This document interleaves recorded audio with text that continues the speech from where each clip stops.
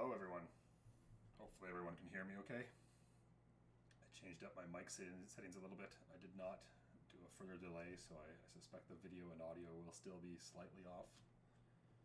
Although it was pretty close last time, so I'm not going to fiddle with it live on stream. It's a little quiet, huh? Okay. Let me try a few different settings here. Let's do that. How's that? Is that better?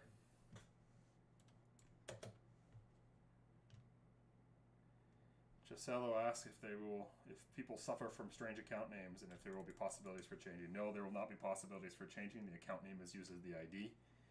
And if you suffer from a strange account name, perhaps you should have considered that when you created your when you created your account, as opposed to making a strange account name.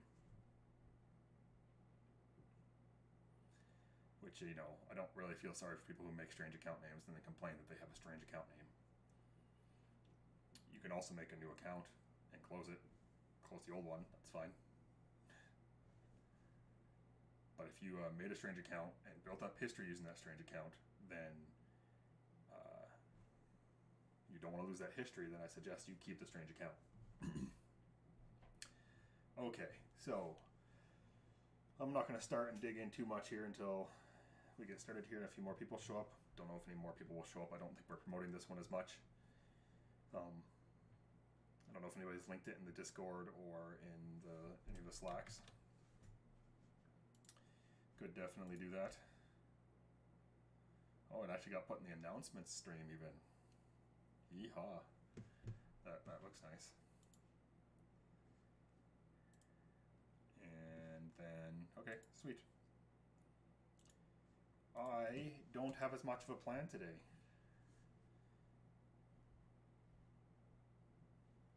I understand that your life situation changes, changes just how, but uh, you know, account names are actually usually fairly important when you create them. So I suggest that as a, in a general, as a general habit that uh, you take some time and consider your account name when you create it on, on any site, not just this one. Cormac says he can barely hear me as well. So let me see here. Let's go here, here. Let's see. Input devices. The Yeti microphone. How about now? Can you hear me better now?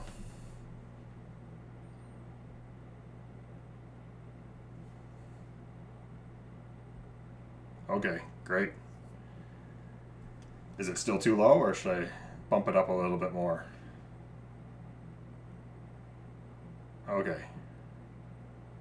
Awesome. So yeah, so like I was saying, um, almost blow out your ears. Nice. I could just yell at the microphone. Um, my wife would love that. She'd be like, "What are you yelling at downstairs? Why are you yelling at the people on the internet?"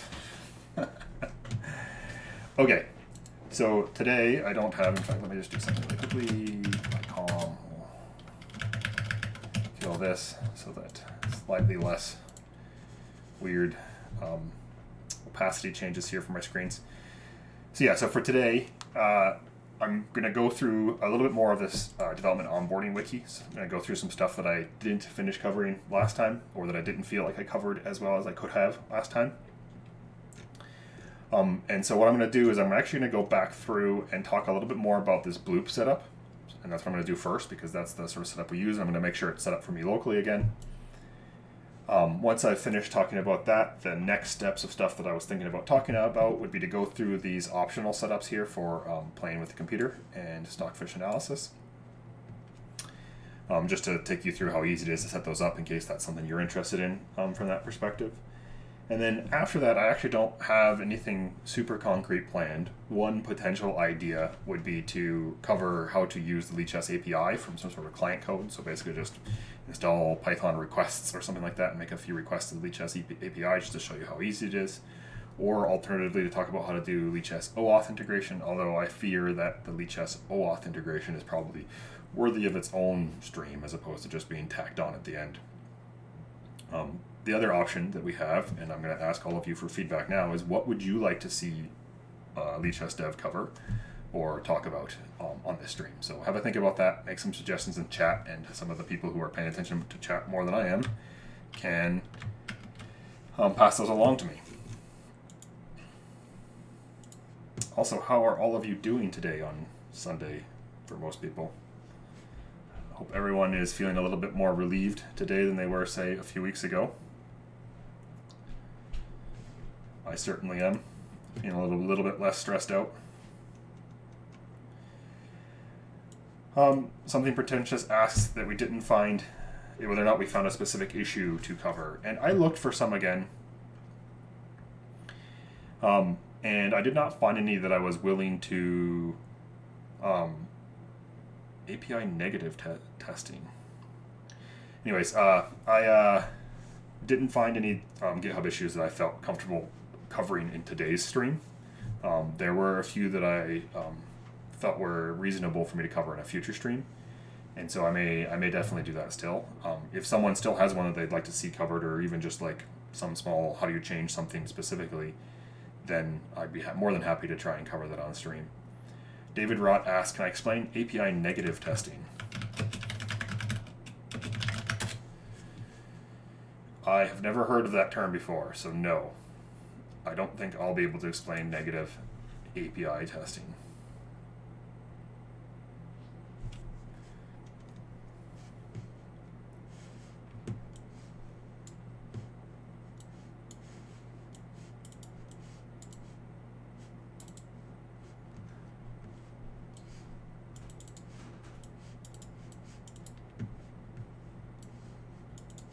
Okay, just reading this, I uh, feel like I understand negative API testing, which is effectively, I assume, testing against all the different types of um, user input that uh, we can do, that users could possibly put in, and trying to actually provide a reasonable um, error message about it. And I'm not a QA tester, David Rott, but uh, from this perspective, I think that uh, I can talk a little bit about this. I don't know as much about this in the context of Lila as I as I would like to, but the idea behind this with Lila is effectively we try and make sure that there is a sort of HTTP layer, um, which is where the, the HTTP API is actually implemented, and that one would would basically be responsible for translating all of the HTTP data, which is basically stringly typed, into a more strongly typed uh, piece of information that can be used by the internal module or internal API, and um, we have some automated facilities for doing that. Um, Scala has some automated facilities for doing that where we can just basically say, I want to make sure this is an integer, and it'll make sure it's an integer, for example. In the context of something where you need more meaning or more value than just integer, where you want something like, I don't know, a valid user ID, which is not an integer, um, then there's a little bit more in-depth stuff to do in there. But Lila has a lot of that built in already in terms of like, we're going to get a string from a URL, or we're going to get a string from a HTTP request, uh, an API request and we want to be able to turn that into a username. Um, it has some built-in facilities for doing that. Um, I don't, I am not super familiar with um, how well the API turns problems with that data into an appropriate error message, but I do know that Thibault takes that um, fairly seriously and attempts to um, fix that whenever he can because I know he rages against other APIs that he has to use when the um, when the API does not give him an appropriate error message.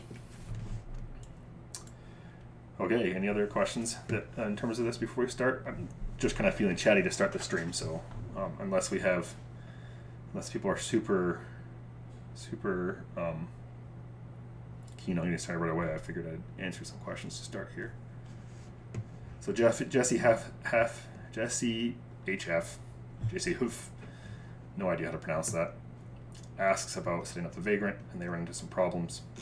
Do you have some specific? I there is no specific like Vagrant setup. I just used a sort of I sort of manually set one up, and I assume you followed the those instructions, um, Jesse, right? And if you did, what are the um, things you ran into?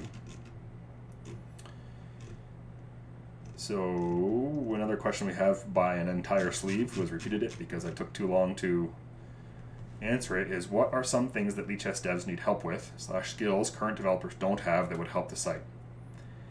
Um, there are, I mean, the way you've asked that question is a little bit strange. No, I, I, I, did it, I saw it, I meant to answer it, and then I missed it again.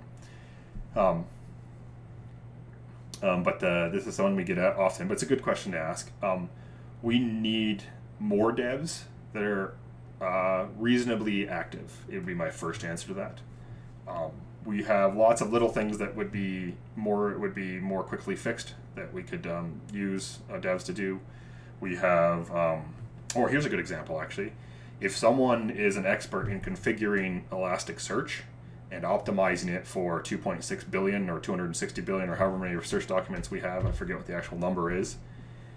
Um, if that was the case, then that would be something that we would love to have more help with. Um, the search is the search stuff was designed for 2 million documents, not billions of documents. And so we're starting to run up against a little bit of um, it's not big issues, but running up to just a little bit of issues with that as well too. And if we had someone who had experience uh, configuring, setting up, and tweaking and tuning um, that kind of setup, then I'm sure Lucas would gladly from both from both from a perspective of the code level, so that where our code is translating the requests from users into efficient requests to um, Elasticsearch, as well as from the system administration level, so that um, our actual um, our actual server that's running Elasticsearch is configured to make optimal or as close to optimal as we can use of the hardware that it runs on. So that would be a very good one that's just come up recently. Um, going back to other potential skills that we have or don't have, uh, we I, I, would think that if we had someone who was an expert in the Stri- Stripe and PayPal APIs, um, I'm sure Thibault would love to have someone helping him uh, maintain that aspect of the code because it's not his favorite aspect of the code to work on. Um, he does it, he maintains it. I've helped as well. Um, new puzzles would be a good one as well too, as Ornicar2 points out. That's Thibault. Um, he's working on some new puzzle stuff, and if someone someone has an expertise in puzzle categorization and puzzle uh, uh, discovery and how to evaluate what will be a good puzzle from the perspective of a user and what will be a bad puzzle from the perspective of a user, um, and how we can do all that sort of stuff. Uh, that would be a good project to jump in on right now. And even that one, we, we frequently are talking about that one. And I'm going to plug this again. We have a Lichess Discord, which is linked both on this development page right here. And there is a command for that in the chat for Twitch as well too. And we have some development channels there. Um, one of the ones that we have is called How to Set Up Lila, which is where you should ask questions about how to set it up. And so Jesse, I'd recommend you jump in there and uh, ask questions about how to set it up there. Um, we more be more than happy to review what's going wrong and try and point you in the right direction. In addition, we also have the Lila development channel, and that channel is reserved for active development purposes. And what that means, to, to, to give you my view on what that means, that means that you're actively participating in a discussion about how to develop something that we want. So most of the time, that means what you can do is uh, participate in the discussions that we're having and like if someone asks, hey, I'm, I'm not sure how to implement this thing for puzzles, or I have this question about how to do this thing in Python for implementing puzzles, then you can participate in those sorts of questions.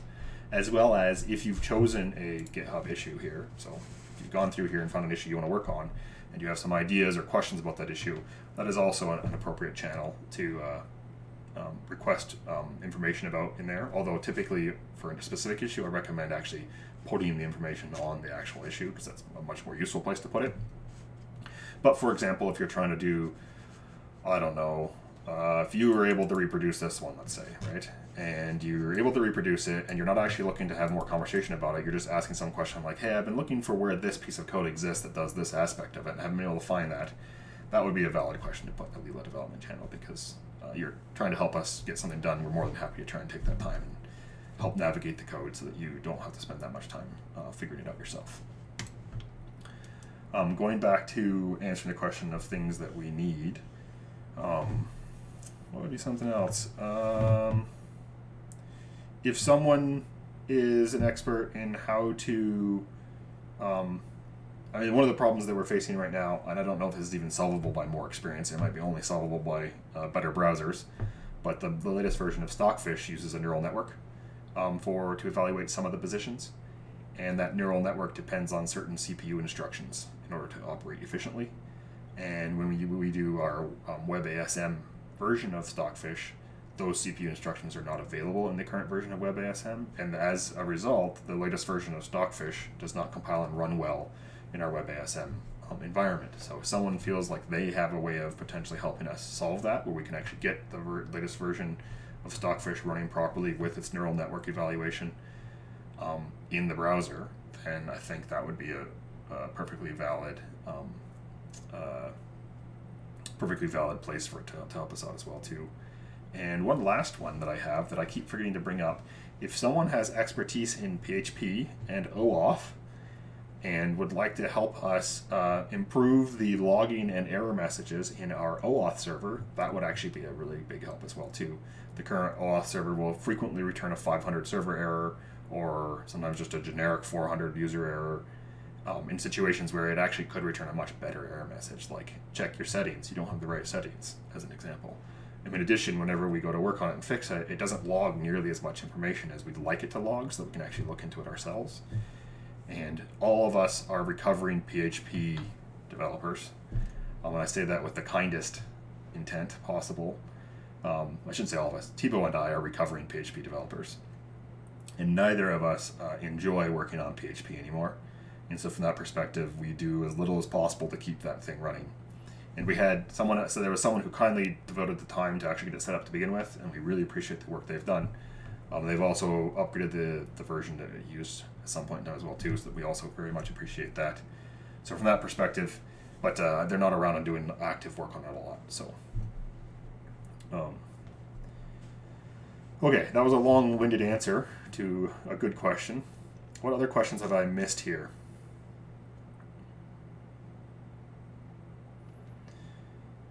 The newest moves of a player, e.g., a GM, in real time.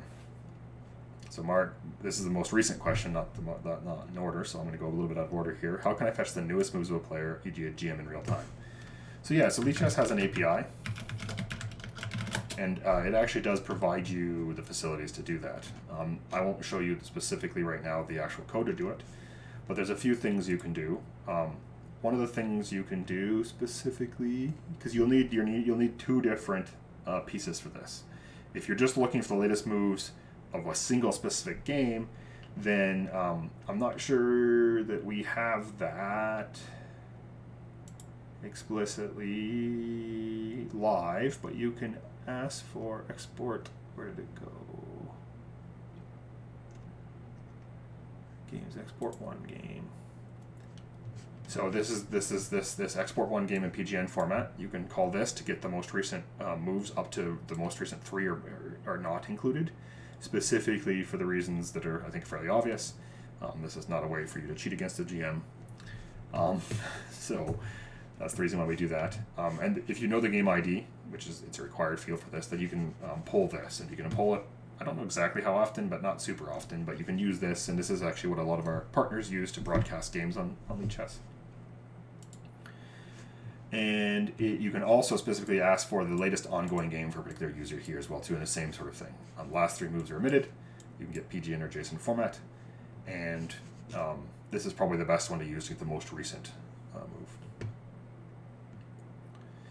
it probably wouldn't be great for Ultra Bullet games. Nope. to be quite honest with you, why do you need the? May I ask why you need the latest moves of a GM of an Ultra Bullet game?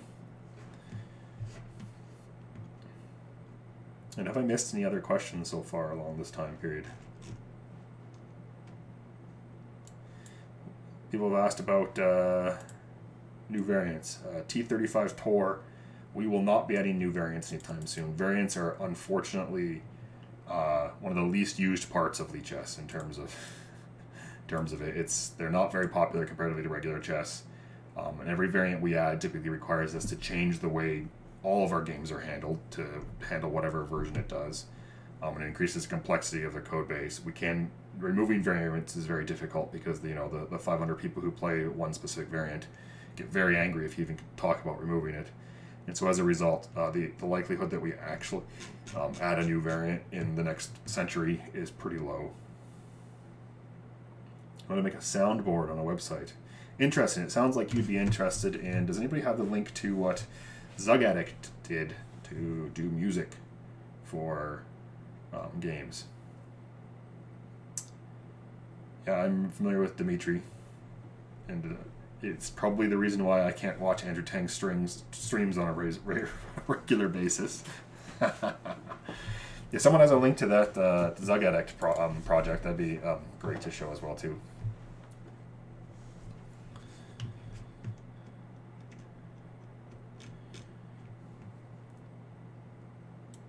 Someone is working on their own four player chess.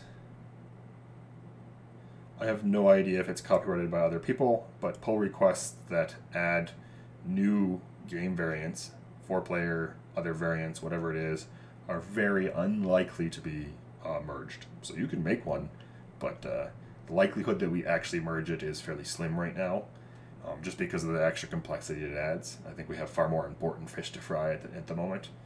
Uh, maybe long term, long time down the road, we might actually consider adding something like that, but uh, for now, unlikely. So uh, the, the, my best recommendation for you would be to do something like what the Lidraughts people did, or what uh, PyChess, the PyChess guy did, which is to actually make a new site that has the new variants on it. Um, and you can use Lila as the code base that you base this on. So if you want to make a set of pull requests and maintain that versus Lila, then um, you can maintain your own fork and run that yourself. Any favorite external apps that use the Lichess API to do something cool? Uh, so yeah, so Thibault mentions the Lichess 45-45 league, which is pretty good.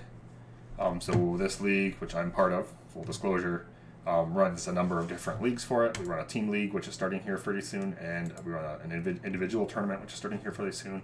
And this uses a lot of the Lichess API stuff um, to do uh, to do various things. So that's one particular project. Um, the other one that I was thinking of would be the opening. What's it called? Opening Tree Explorer. I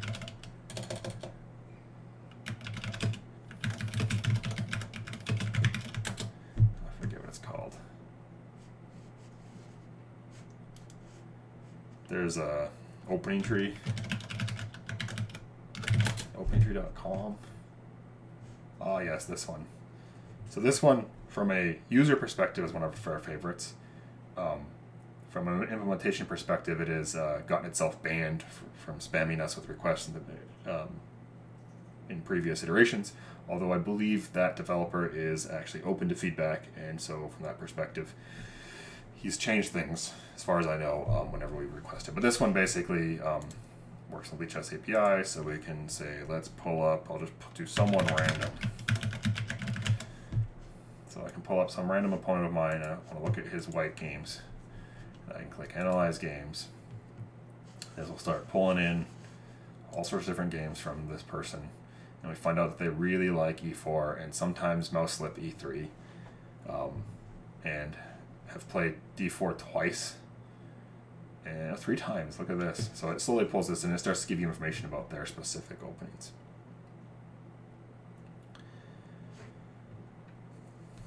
And T35 Tour, yes, our donations cover all of our expenses right now. We are very fortunate to have many people who donate to us on a regular basis.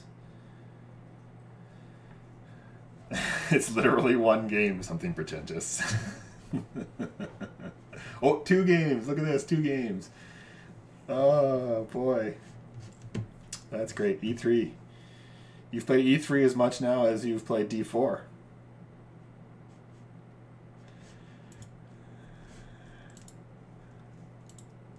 The reverse Sicilian of some sort. so this would be another uh, website that I think is uh, pretty cool and does some stuff with that. Um, I'm trying to think of other ones that do stuff. Uh, there was the guy who did the all-time tournament scores site based on the Lichess database. So we have the database.lichess.org, which uh, exports all of the games in a huge format. Um, and uh, one thing, uh, actually take some time to talk about this. So 1.6 billion games have been exported from Lichess, and this is just the standard rated games. Doesn't include variants. Variants are a lowly 10 million for anti-chess, which is apparently the most popular one, I think. But in any case, um, but these files are quite interesting to work with. Uh, they are huge. This is zipped up. This is a zipped file, it's 17.5 gigabytes. So if you want to work in this, we actually use, if you scroll down to the bottom, we actually talk about this. We actually use, where did this go? Um, this PBZip2 um, program, which is a parallel bzip.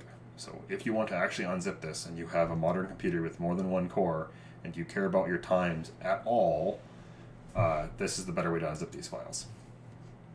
And in addition, um, there's some really interesting links to projects down here um, that are really kind of cool. So if you want a list of projects that use Lichess data or Lichess, in this case Lichess data, um, this is a nice little set of, of, of projects here as well too. And did we add the tournament? We should add the tournament. The guy who made the tournament um, links here. The, the the person who made the, who exported and figured out who had the all time scores for say like um, the title arena or the shield tournaments or things like that. We should add those to these as well. I don't know if this is here. Doesn't look like it is. Oh, here. This is the bot that I was actually interested in. Nice. This bot was actually, I thought would be a fun bot to play against, where basically it chooses its move based on trying to figure out what the most popular move is in chess in that position. Which I think is cool. So yes, this is the that is the other project I was talking about that uses the um, the, the Lichess database, and I think should also be added to this list if it's not there already. So I think that was worth that was uh, worth it. And Lucas uh, Gilbert asks if I am going to play viewers later on chess, and the likelihood of that happening is very, very, very slim. But I will not rule it out completely. Um, but uh, it it would be it's going to be pretty slim. Oh yes, this is the music thing.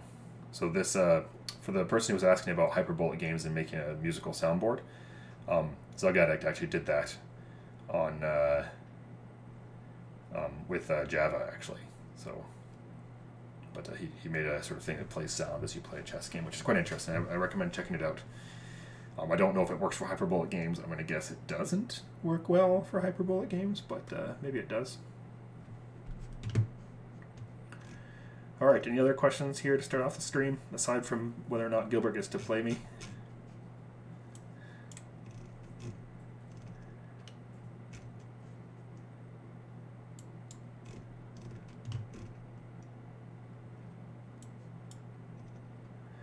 Just reviewing the questions here really quickly.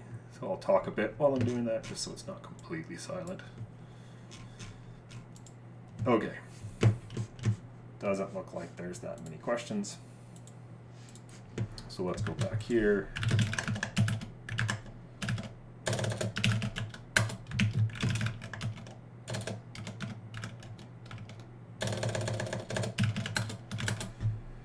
And let's set up. I did not actually um,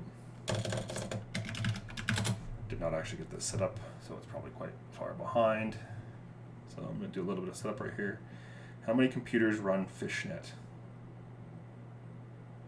Actively on a regular basis, probably in that range. Um, I think Lucas can probably, or Lucas or something percentage can probably get us more accurate numbers than that if you really want, but it's somewhere in that range.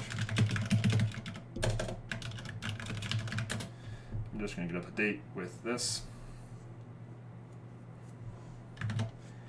And um, last time we talked about this, Bloop build server, not Bloop the movie. So I'm going to talk about this again for a little bit. And what Bloop is, as we, if you recall, is a server. So it's an alternative uh, alternative um, service on your computer that runs that will compile Scala projects, and it's intended to be able to compile them quickly. Um, and it's also intended to be able to integrate with editors, which is the real, real big benefit in my opinion. The other benefits are probably are still quite good, but uh, less good than uh, integrating with the editor. And so you can integrate this with different build products. So SBT is the one that Lichess uses, and you can integrate it with different editors like Visual Studio Code. Figure what that one is: IntelliJ, Atom, and Vim. That's probably Sublime, I would guess. Yeah, Sublime. Um, and uh, the nice thing about getting this set up is that you get immediate feedback in your editor when you compile code. So let's see here, push to my branch to make sure my branch is up to date.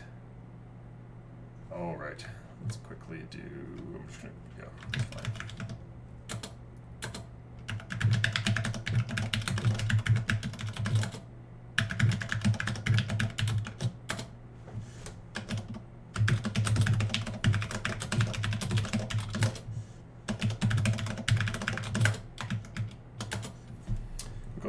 SSH keys.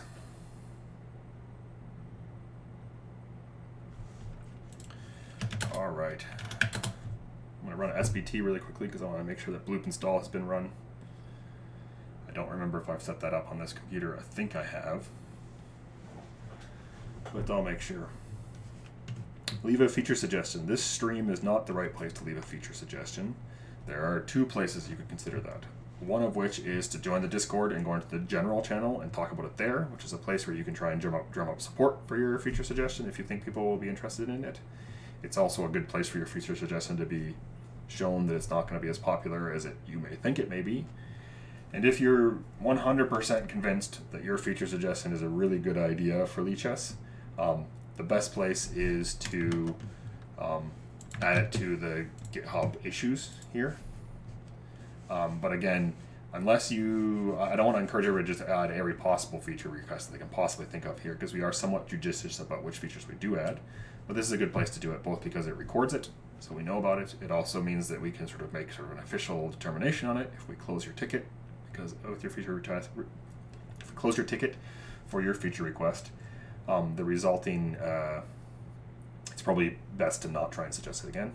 Um, but this here and the general channel on Discord would be the two places that I'd recommend. And we do use async, I believe we use async Scala. Um, yeah, and the, and the bug house feature request was already received long ago and closed 40 times. Okay, so I'm gonna run bloop install just to make sure bloop is installed here and running. I already have bloop installed on my computer and I showed different ways of doing that um, in my last stream, which is uploaded to YouTube. Um, I'm pretty sure I mean, we use futures and promises throughout, um, and I always forget the difference between async and multi-threaded and concurrency, and I know there's a difference between the three terms. Um, the JVM runs with a certain number of threads. Certain aspects of the code base are definitely con- um, async in the fact that they do not block, and uh, I think most of the code base is async in the fact that it does not block. But I don't know if we use specifically Scala async. Is that a specific project, Thibault?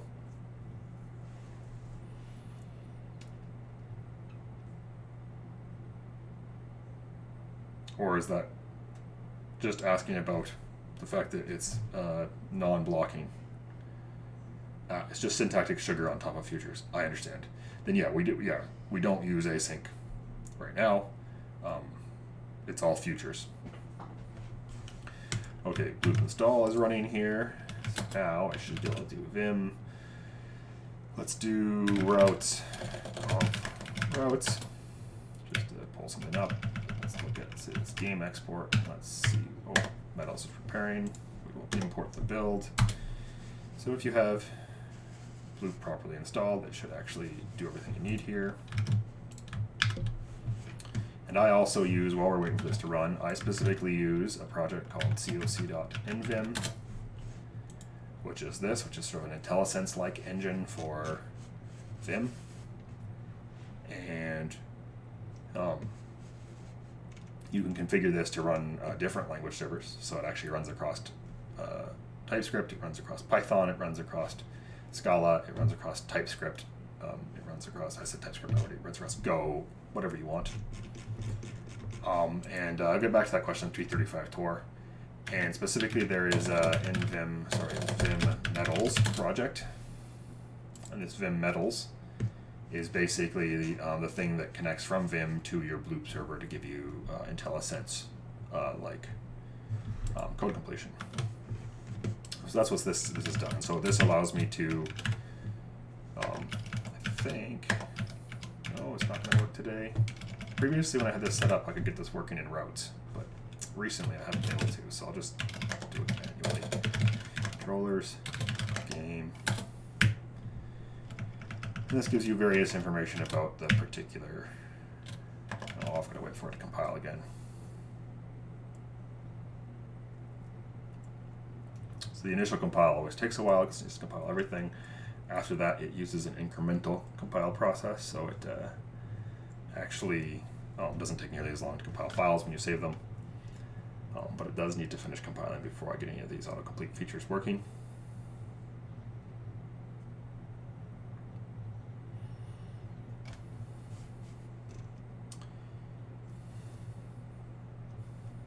Just looking back at some questions again.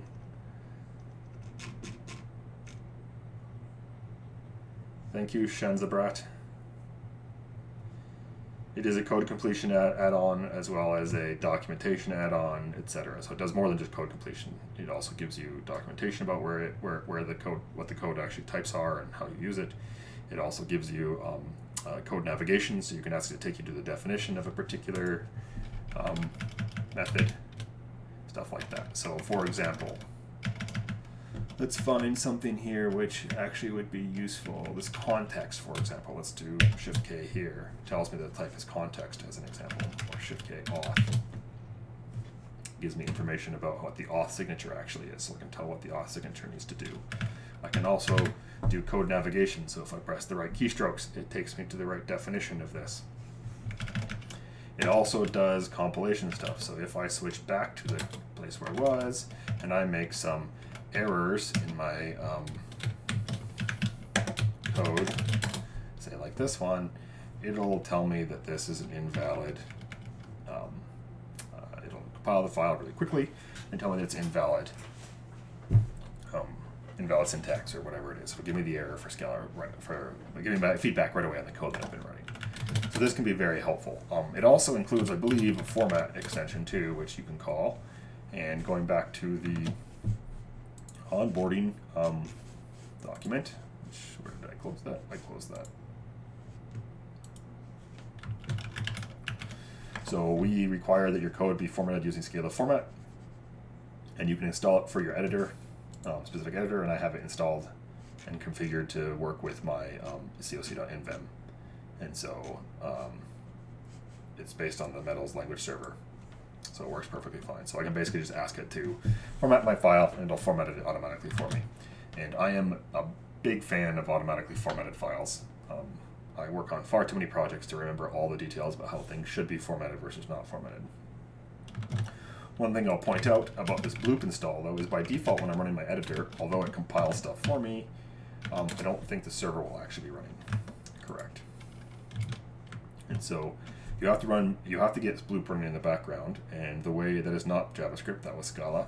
And the way you get Bloop running in the background can be quite a bit different um, based on how you have it set up.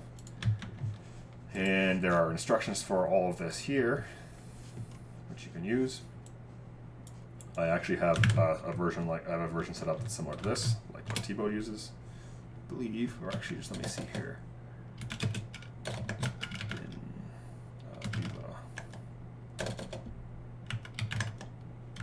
I don't have that set up right now. So let's actually try, on my other computer I have that set up. Let's try running it with this.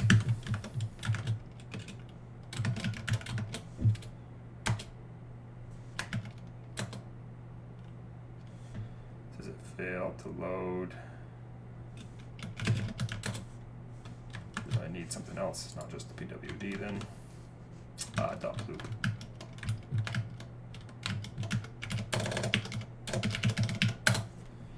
Go.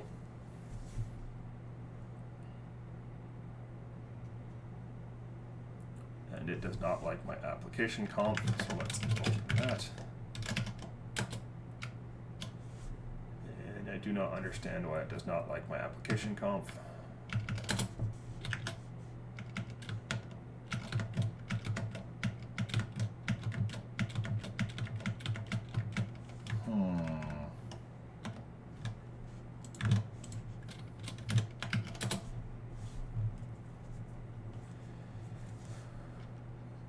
Closing brace or comma.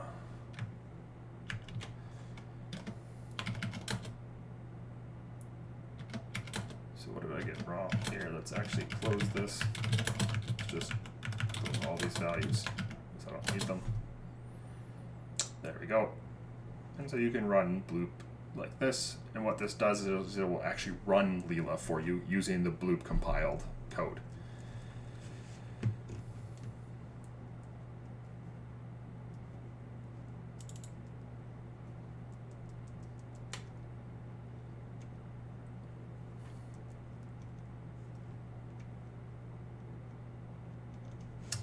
sure everyone else does it. And oh yes, this problem again. So this is a problem that everybody runs into, including me. Um, it's a common one. and it's a good one. Basically, my MongoDB is not running, so in the instructions in the um, setup, you need to download, get MongoDB installed, but you also have to run it. And I don't have it running all the time because I don't actually use it all the time. It's not running right now, so we'll start it. I will also start Redis. And then let's run run it again. Ooh, Rust. We have a Rust developer. My wife is laughing at me because I said, ooh, Rust.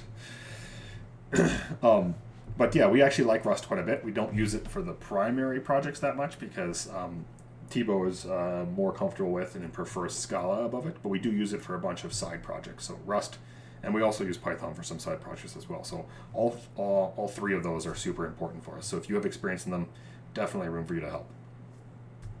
Um, so I look, and uh, one thing that I probably can't show enough on stream is if you go to lichess.org slash source, this is a really great page to get some information about how um, people actually use uh, or sorry, what, what software is actually being used in uh, and uh, uh, you can see what um, uh, which one's actually doing it. I'm not even signed in. Light mode's default. This is, this is what the Anons see. And I'm not signed in on this browser either. No, um, the, uh, this browser is, uh, as I learned previously when I doxed myself twice. Oh, you can switch in Anon mode. So Thibault tells me I can say slash dark. Or just let it straight type it. Ah, it's a keyboard. There we go. Oh, look at that. Sweet. So there you go. Everybody's eyes better now.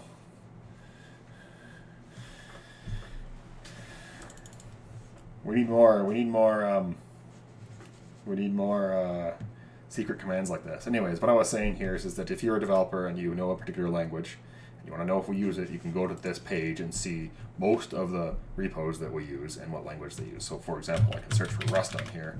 Check it out. Rust gets used quite a bit. Table base, our push service, our GIF generator, our IP2 proxy generator, all use Rust. Python is used for the fishnet. Um, support. It's used for our web board image project. It's used for Irwin. Um, it's also being used for the current um, puzzle generation as well, which I don't think is listed on here. I'm not sure if it should be, but probably. Um, or I'm not sure if that's super secret or something for some reason. But we use Python as well. We use Scala. Scala is used for quite a bit of stuff, and TypeScript is used for quite a bit of stuff as well too, and Java as well. So if you're looking to contribute, you're not sure that you want to learn Scala, right away, um, then this is a different way for you to contribute. And uh, we're also, the stream is also pointing out that slash help gives you all sorts of different um, commands. For example, you can type in slash bughouse, and I believe that should be a Easter egg of some sort. I really do think typing in slash bughouse should do something fun. Um, but help does actually show you the real commands that you that are used here, which is a nice little feature. Ban the account. It's like a self ban. That's not a bad idea. Like or a self mute. Type in slash bughouse, and you and you're immediately muted. Uh, this is not the right place to ask questions like that, Haraz.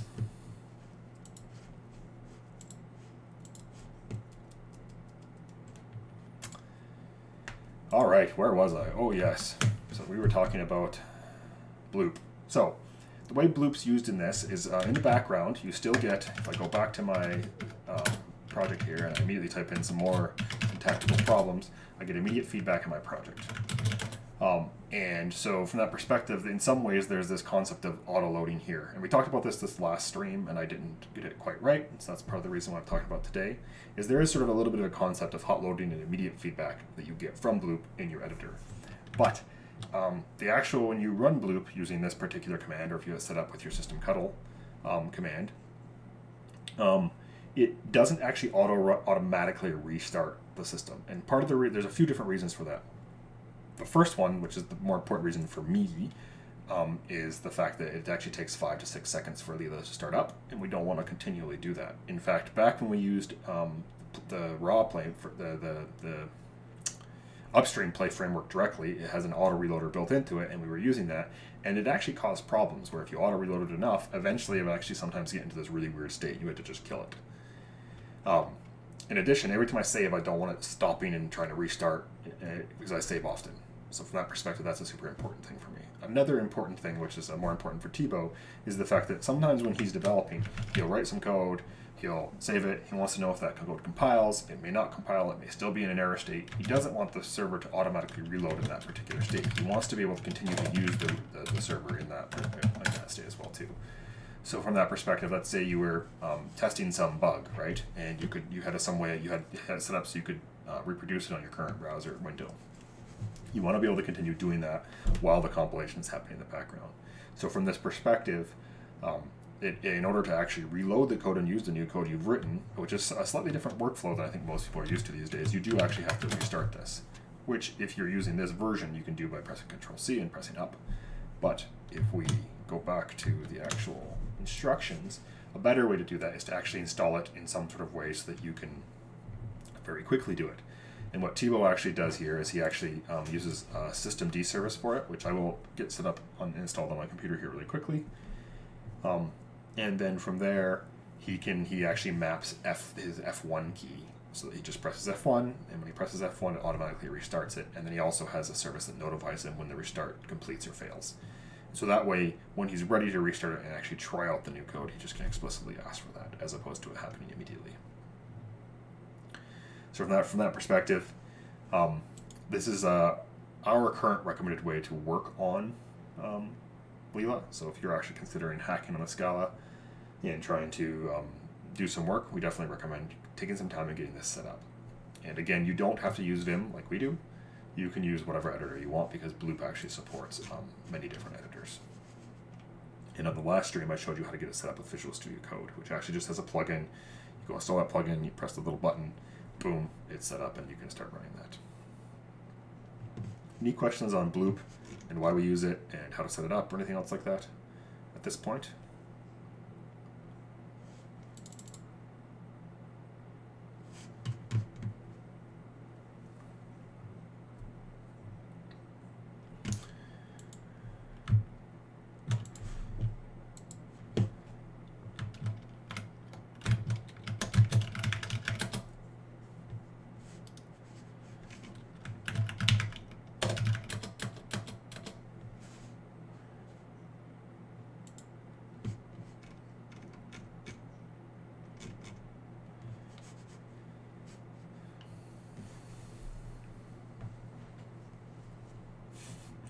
Like 65 cents. Yeah, Lichess actually, um, so there's some comments going on in the chat about how much it cost uh, to run a game on Lichess. And Lichess, um, thanks to the tireless work that a bunch of volunteers have put in, Thibault, Nicholas, um, Lucas, um, uh, there's way too many for me to name on stream, those three being some of the most important ones that put it in on the actual tech side.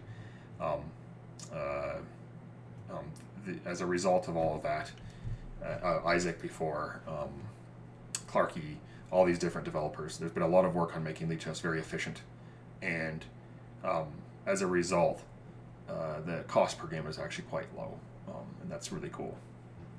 One other metric that we've talked about a lot recently, which we don't have a good way of measuring, but which is a really interesting metric, is the cost of uh, the actual processing power for you personally. So I pay for electricity, like everyone. Well, you may not pay for it directly, but you somehow pay for electricity.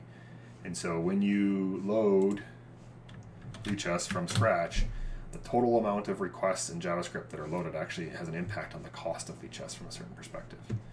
And so, um, where did the actual thing here go? All, that's the key thing I'm looking for here. And there's been a lot of work done on optimizing um, how many, how much kilobytes are actually served um, to, to, to your client. It's very, very low. It's something like 20 times more optimal than a lot of the competing sites. I don't know if 20 is the right term, but it's orders of magnitude better. Um, and in addition, uh, one of the really interesting things about Lichess, which is really fun from an efficiency standpoint, is the the minimal amount of actual J- JavaScript you have to load on here, and that goes that comes from two places. One of which is the fact that Lichess has zero ads, so there is no JavaScript that's being run on your browser that you didn't ask for. So only the JavaScript that's needed to run Lichess directly is um, is used, and that's actually super important from a client perspective. If you're using a mobile client, uh, your battery um, will love you for this. Um, if you're using, if you just if you pay for electricity and care about the environment, um, that's also a big benefit of as well as well too. And in addition to the lack of ads, um, the other thing we also do is uh, um, every six months or so, Thibault gets very obsessed for a few weeks with optimizing it and spends some period of time optimizing it, which he just recently com- completed another another round, round of that and actually drove the actual um, uh, cost or the um, size of the JavaScript down farther. And that each line of JavaScript you serve extra requires your browser to recompile that JavaScript every time you load the page. I mean, there's some caching that happens that is maybe not every time you load the page, but it's often enough that that actually makes a big, big difference. So reducing the number of kilobytes we actually send up JavaScript or CSS can make a big difference. Um, someone asked about uh, uh, server-side optimization. Honestly, we're actually in a really good place from the core features um, from from playing games. From that perspective, uh, we are in a really good place optimization-wise. We have a lot of headroom. We had to scramble really quickly during the initial uh, COVID um, increase in users, and we um, bought some bigger servers, and those servers are handling the new traffic very well. In addition to a bunch of code changes that we made to um, properly um, to properly uh, deal with that kind of level of traffic. So from the core features, um, that's one thing. Uh, the places where we're where we need the most help from an optimization standpoint, I'll go back to the Elasticsearch thing. So the Elasticsearch, uh, so searching in general. So going to and searching. So if I go to someone's games, I'll pick someone random again. Um, if I go here and click here and click this advanced search and press some buttons here, like I don't know, Let's make this very classical. And I do this. This is using our Elasticsearch stack to uh, search for games. And Elasticsearch stack um, needs some optimization on the back end. Um, so both how to translate requests like this into an efficient query for Elasticsearch. That's one aspect of it. I don't know how much room there is to actually improve on what we do, as well as how to actually optimize the Elasticsearch backend so that it, with the same, with approximately the same resources, could potentially serve up more requests and do this more efficiently that's, that's again one of the big places I think that we need optimization. Um, from the actual the rest of the game stuff right now, there's no big need, and and we're always very cognizant of the fact that because we have as few developers as we want, premature optimization and making the code more complex is um, is a bit uh, is, is not something we're super keen on. If we don't need to hyper optimize some aspect of it, because it's working well enough right now, and hy- and hyper optimizing it would decrease developer productivity significantly, then we may not consider doing it at all right now. Because honestly, our developers are probably one of our more precious resources, developer time, and uh, we don't have a ton of it, so we don't have infinite of it anyways. So from that perspective, optimizations are something we definitely don't chase for the sake of optimizations all the time. We, we definitely always evaluate them against uh, the developer productivity at the end.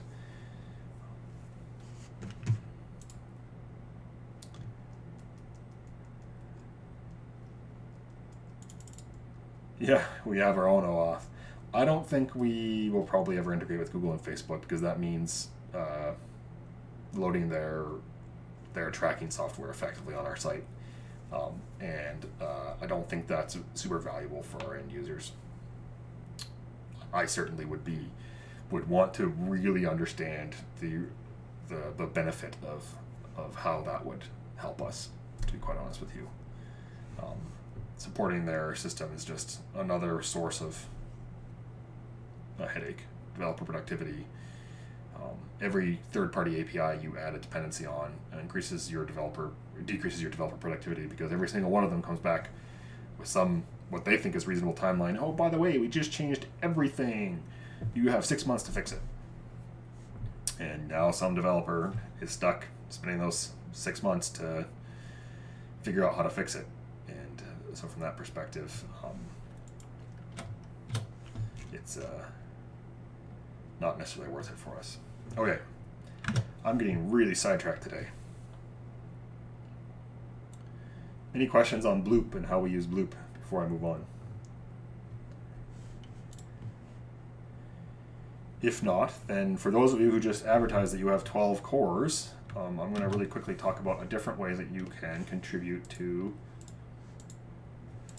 Lichess, if I can find it again. So lichess.org. Let's go to contribute. Where did that go to? Let's go to slash source first, slash source. And contribute. So we, we maintain a page on how you can contribute here as well too. Am I a full-time dev? I'm not a full-time dev, no. I currently am a volunteer dev and the the the title of developer is probably a little bit of an ambitious one for me. Um, I am a developer in my real daytime job, but I don't actually do that much raw development for Lichess. I mostly just sit around and annoy Thibault with silly questions and silly suggestions. And sometimes those silly suggestions work out and it turns out to be better, and sometimes he just spends time explaining to me why it's a dumb idea. Um, but I am part of the development team. So I am a full-time developer. So going back to what I was going to say here, is there some some other ways of potentially um, contributing to Lichess? And one of the ways for that is to contribute to the, the to the fishnet, um, to the fishnet uh, network that we have. How many of you here have fishnet? I know I do. Do any of the rest of you actually run fishnet for us? Um, yay, more people. If you do, thank you very much. It's very helpful. We appreciate it. Um, Fishnet is basically the way that we provide computer analysis for games. So if you go to a game, and I can't actually really do this, but if you go to a game, let's go to this game here, and you go down to the computer analysis, this analysis is provided by Fishnet. If the analysis is not here, you can click a button to request it, and that analysis is provided to us by um, a set of computers that Lichess runs, as well as um, donated resources for, for Lichess. And that's not at all the right page. Okay. And if you don't provide it, but you have a computer that is not a complete potato, um, that's one way you can definitely consider um, helping us out is by um, offering to donate some amount of your spare CPU cycles.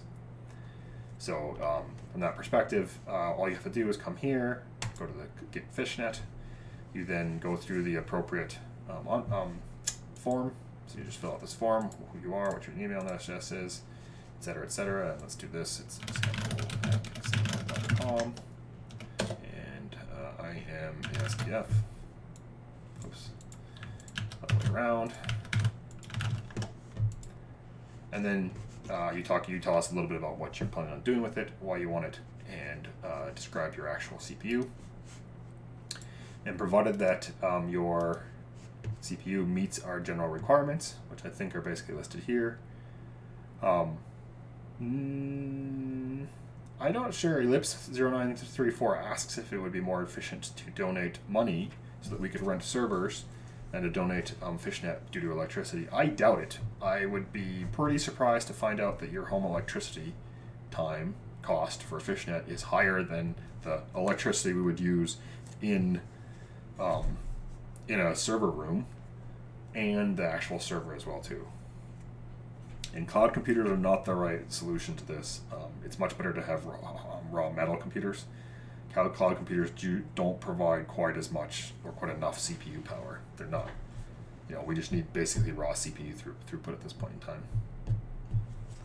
So I'd be very surprised to find out that uh, it costs more running it from home in terms of electricity than it costs um, from a data center's electricity costs. And then renting the server on top of that and everything else you pay for in a server. So uh, but consider this, um, especially as we get more popular because there's lockdowns happening as we go through the second wave of this pandemic. And so, from that perspective, if you have a spare CPU cycles and a reasonable CPU, consider donating. Okay.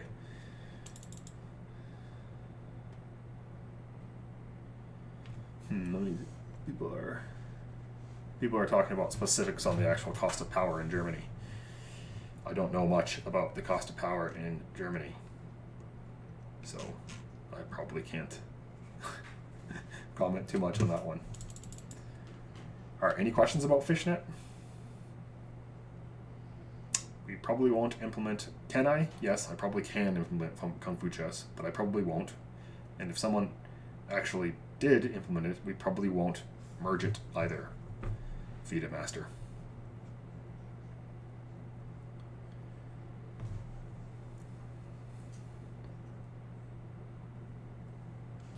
What was the question that MedXs is talking about?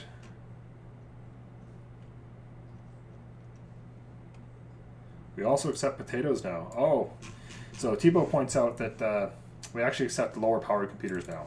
So uh, that's true. Lower powered computers are also valuable to us. We figured out a way to um, use that um, in a useful way. So even if your computer is not uh, super um, um, powerful, you can definitely consider that. FIDE master, why not what? Why won't I implement your idea? I think you can probably answer that question.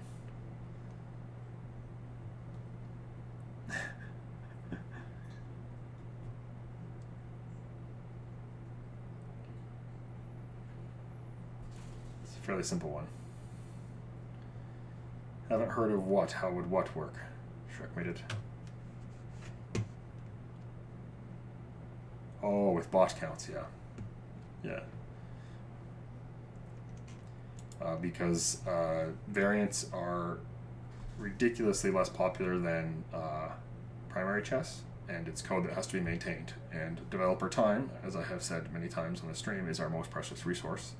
And so costing us developer time to maintain code that is barely used by even a fraction of a percentage of our users is not a particularly good idea in terms of how we um, allocate our developer time. So uh, right now, the likelihood that we add any new uh, variants is basically zero. Maybe that'll change in the future, but I doubt it. For now, I think we're going to focus on um, many other things that we think are more important. All right. So yeah, if you have a spare CPU cycles, go ahead and apply for Fishnet and help us out with that. And another thing that I'll point out with that, which is the last thing I'll point out, is you don't have to run this 24/7. Um, you can run it um, as often as you can run it. It'll help us. So if you run it, you know, for four hours a day, that's helpful. If you run a, if you run it for two hours a day, that's helpful. If you run it for three hours a week, that's probably still helpful. So any amount of time you can donate with this is, is definitely helpful for us. So consider that. Any other questions about Fishnet, or should I move on?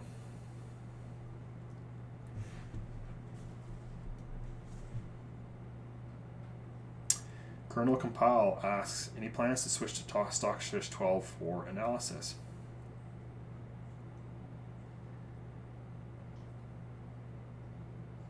Um, and I'll get back to your other questions as well. Um, yes, but there are plans. We would love to have it on there, but Stockfish 12, I believe, is the first version that has uh, uh, neural net, uh, CPU-based neural network to evaluate certain positions. And as it stands right now, that neural network depends on specific CPU instructions to run efficiently, and those CPU instructions are not supported by WebASM, which is how we provide Stockfish 12 for analysis. So there has been a little bit of work that's gone into it, but it's actually um, uh, not trivial, and so we're, we're definitely working on uh, working on that, and that's something we'd love to have help with. So if you know how to get Stockfish 12 running efficiently in a browser using WebASM, we'd happily take your expertise on that. And Fishnet does not require an inbound port because it polls for the positions that it wants to analyze. So it basically asks the server, "Hey, do you have any work for me?" The server goes, "Yeah, analyze this game. Here's all the positions." and then it starts analyzing the game in reverse order. So it starts at the final position and goes backwards for some reason I fail to remember. And every time it analyzes some position, I think it analyzes a few, like three or four or five or something like that. And then for every few that it analyzes, it basically sends that data back to the server and says, hey, I've analyzed these particular positions. Here, here they are. And so that's why when you request an analysis on the server and you watch the analysis board, it fills in from right to left because it's actually analyzing the final few positions and slowly going back further and further in the game. And um, Todovsky, who is who is one of the uh, customized Stockfish developers for Lichess says that it, the reverse traversal maximizes the cache hit rate, which ostensibly improves Stockfish's performance. Anyways, and you submit those requests, and when you're done with that particular game, you then request a new game. And so it's all polling. So your client basically constantly just requests data from um, Lichess or submits data back to Lichess. Lichess never actually contacts your client.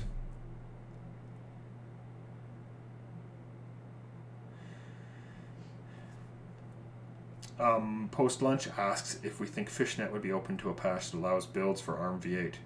It's possible in the underlying Stockfish. I think Fishnet would be open to those patches. I don't know if Lichess itself would be open to having Stockfish run on ARM v8.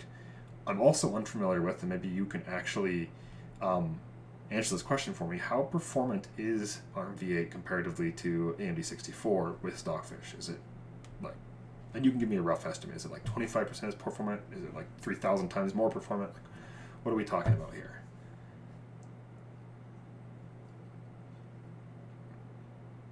Um, but uh, Fishnet is sort of a separate, it's a separate project from Lila, so it's not directly integrated in it. Um, and it, it can be used in other contexts as well. So from that perspective, it may very well be interested in a patch like that on its own. I can't answer for the developer. Um, that uh, Nicholas would have to answer that for you. But I definitely think that you could um, open a GitHub issue on the on the actual repo and uh, ask that question. He would answer for you as well. Ah, okay, interesting. I mean, it would be very simple for you to um, do that with the current fishnet. So the current fishnet, if I go here and I open up the fishnet.py code base, um, the current fishnet actually will download, and let's see here.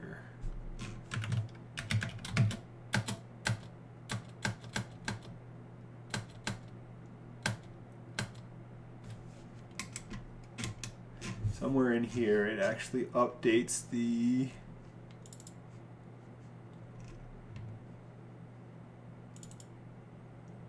uh, I don't know if we'll find this quickly on a stream, but somewhere in here it actually updates and downloads uh, the most recent of the of the official fishnet or um, stockfish builds that it uses, and you can tell it not to bother updating it again. So you can start fishnet on a server like that, and it may actually complain about not being able to run that fishnet. Oh, I think actually the config, let me see if the INI, example INI, no, fishnet.py. This up here. So the config, so this is where it downloads the GitHub release. So this is where it actually looks for a new one. Um, and you can actually update the config to not update with new versions and you can also um, pin it to a specific version. But I believe that Lila won't accept your request if you're um, passing the stuff from versions that it doesn't accept. Um, but you should be able to configure it to actually. Where's that introduce stockfish command? I think this might be it. Fix back off, system back off. Yeah, I think you can give it a specific fishnet command and a specific indent directory and as a result, it'll run that specific stockfish for you. So if you want to want to do this, you and you can build stockfish for ARM v8, then you should be able to set up and test fishnet with it. Just don't use your key you just got. Try testing it with a dev environment or something like that, so that you can, um, so you can test it and give us a give us a send us a GitHub issue or join us on the Discord and mention it there and let us know what the actual performance is because I think that's something most of us would be at least uh, from a pure technical perspective interested in knowing. So definitely.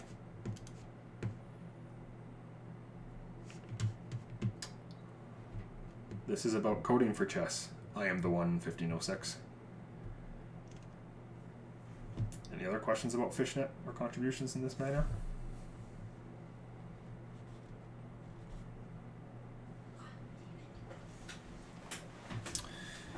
No? Okay. Then I am going to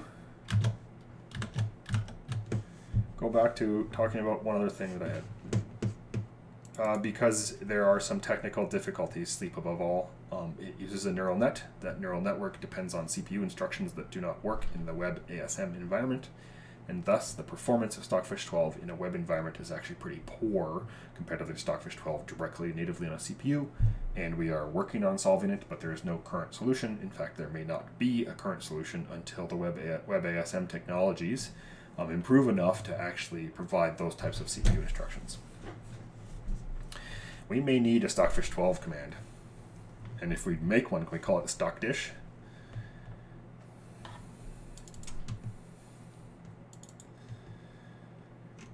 I'm seeing far less contributions in the chat. I'm suddenly worried that I'm not connected. But it still looks like everything's connected here. Okay. Going back to what I was going to talk about next. So, chat is here. Okay, good. So the, the next thing I was going to work on really quickly was just showing you how to do a few more steps within this within this uh, development setup. The last time we did it, we got to this point, so we actually got Lila WS working. So I'm going to go do that as well. So let's go here, SBT. This stream is a development. This stream is a development stream. Pluffy. Let's run Lila WS. We are nerds. I'm perfectly acceptable accepting that. So long as you are also acceptable uh, using the term nerd to describe chess players and or Twitch viewers, because I would also use that term for the most part. So going back, if we run Lila WS, that's required for us to actually have uh, the WebSocket connection, which I which I uh, talked about last time and won't cover today, which allows you to play games. But it doesn't allow you to play games with the computer. If you click this and start a new game, it actually won't work. For that, you need to do two other steps. So the first one we need is we need this repository. So let's do that as well too. Let's get Lila Fishnet. Go in there.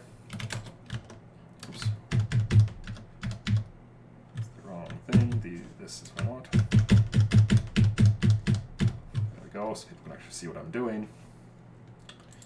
And going back here, we'll run that command. And this will run a uh, Scala-based um, uh, fishnet controller, basically, for Lichess. Is he going to help you with your spring boot project? Probably not.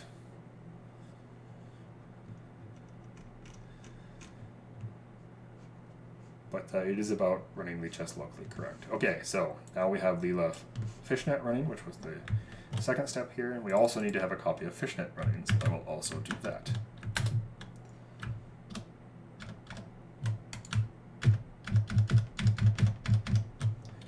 So let's go here, let's clone Fishnet. Then run it with the appropriate endpoint. And this is the endpoint that I was talking about earlier. So Fishnet actually connects to Lila and listens there. So when I run this, it's actually going to connect to this one. And it asks you a few questions when you first start up, which creates an INI file. And I believe that um, you can. This is where you can override it run a different stockfish. And let's only use uh, four today. And um, Creeper kind. I don't know probably not required. So I'm going to skip that because I don't think it's required locally.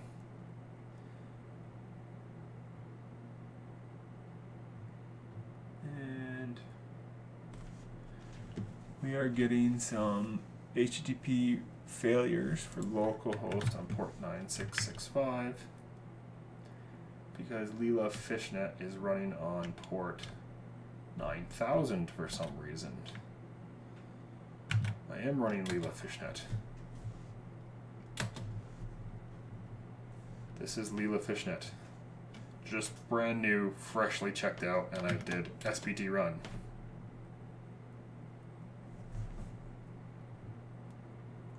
But it is running on port 9000, which I can fix manually by going to here and running this to connect to port 9000. Um, which I believe will work, but the instructions on the wiki should probably be updated. Either Lila Fishnet needs better default configuration, or um, the instructions should be updated to use this, I think. I'm not sure which one of those is incorrect. Regardless, um, the fishnet requires a particular endpoint to connect to. And for the version that we use to play against the computer, because this fishnet's also used for playing against computer. Yes, Ornicar2 is Thibault. Welcome to the chat, K, K the Joker. Um, He also has his own stream, so a quick shout out to his own stream. He sometimes streams himself doing real coding on Lichess as opposed to just this sort of pretend coding that I do on these streams. In any case, uh, Lichess needs an in, uh, sorry, Fishnet needs to connect to an endpoint, and you can provide that custom endpoint here. And now, if I go back to here, I should be able to click play with the computer. Let's get my butt kicked by a level one stockfish, real time, one minute, random. Let's see if this actually works.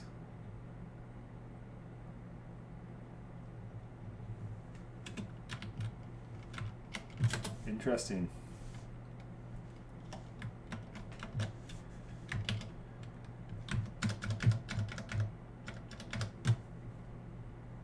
Lila event loop, Lila stop. Why did Lila stop?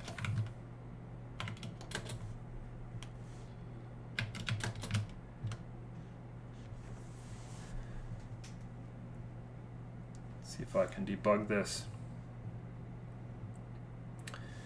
My posture looks really good. I guess that's a compliment. You can only see my shoulders and up, so I'm not sure how much posture you can actually see, but uh, thank you. Okay, so let's look through this again. So we have our code open. Oh, Lila, is Lila not running? So Lila WS is running. No, Lila is running. That's Lila Fishnet. This is Fishnet. Lila itself is not running. And the problem here is... Oh, ha ha ha ha. I forgot to do my Java command. So I'm running an old Java command here, so go restart all of these things and run them in the appropriate version of Java. That one has to say running the fishnet Java.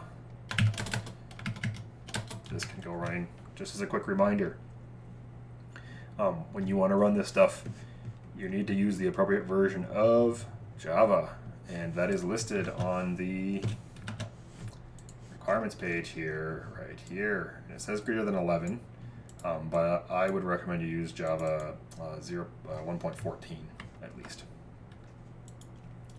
Okay, so Lila's running. Uh, Lila, which one's this one? Lila Fishnet is running, and Fishnet is running. And let's also do Java here.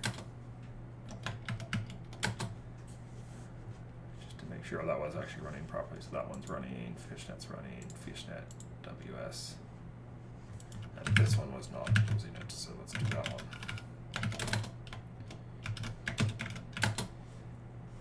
Let's try Lila WS in the right version of Fishnet as well. I do do some updates on Lichess, yes. You've already asked some questions for of me.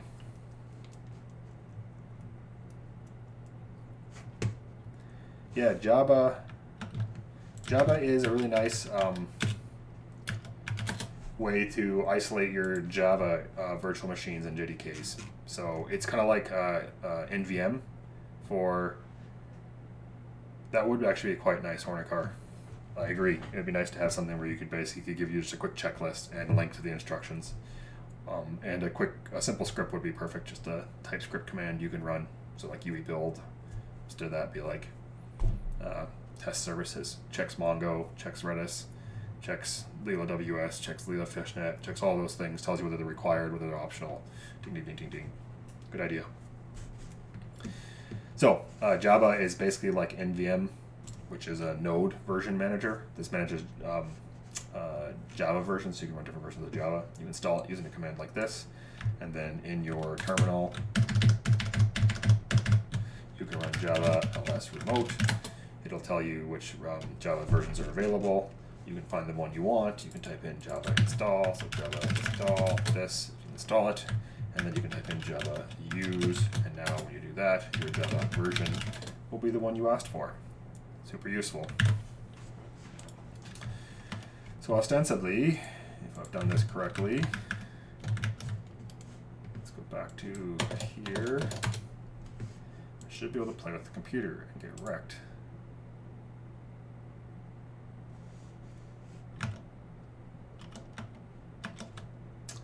But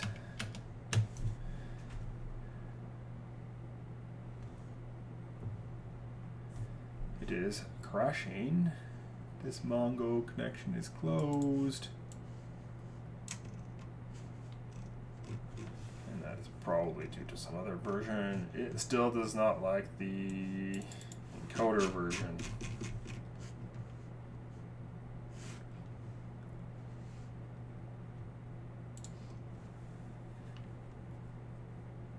No, Mongo's still running. I think this uh, crash has caused um, Lichess to Lua to get into an invalid state.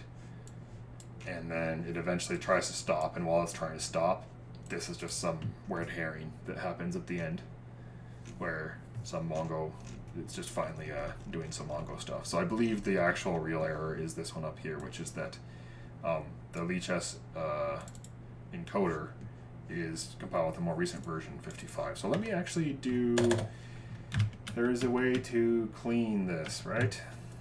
Um, bloop clean.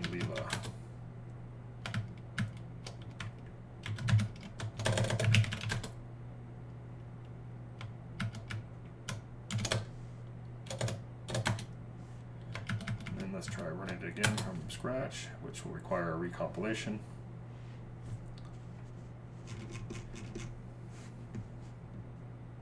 Still says it's using Java 1.8.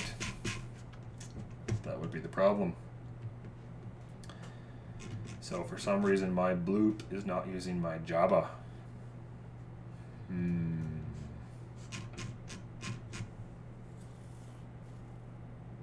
Hmm. What did I get wrong here in terms of this? Let's uh, try something out while that's working.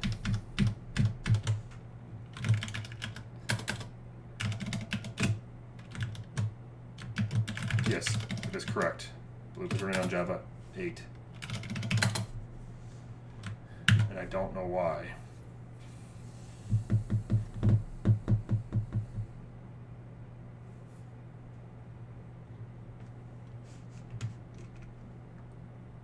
Always blend the database, of course. Blend the database immediately. What's overpowered? Fluffy?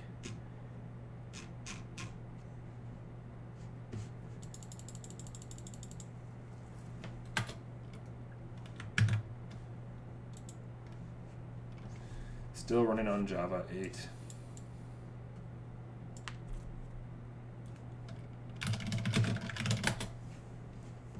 Alright, let's do some Googling here. Bloop, use Java version.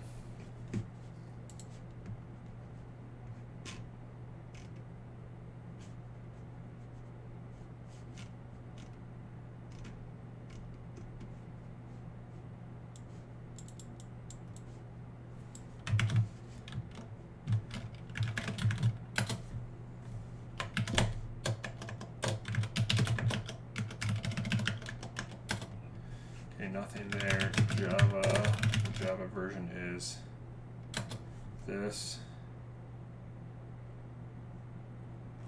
I do not have a bloop bloop.json, so how do I figure out which Java? Oh.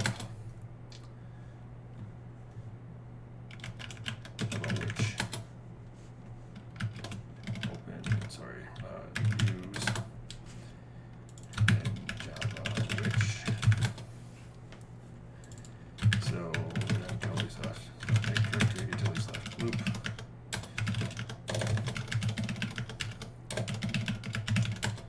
JSON. That there, it's not actually valid JSON, but that's fine. Let's take this, take that.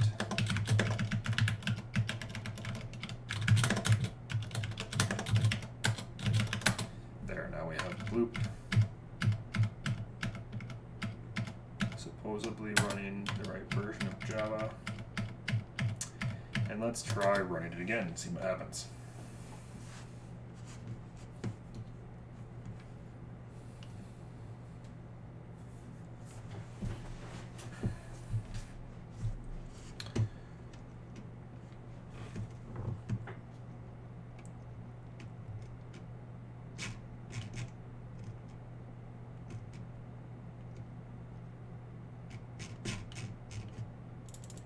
I'm not running Bloop as a service.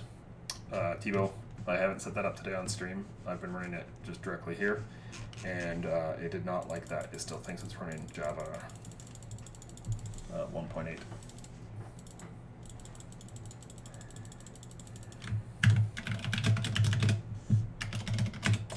Let's double check how I install Bloop. Install Bloop via the AUR. Oh.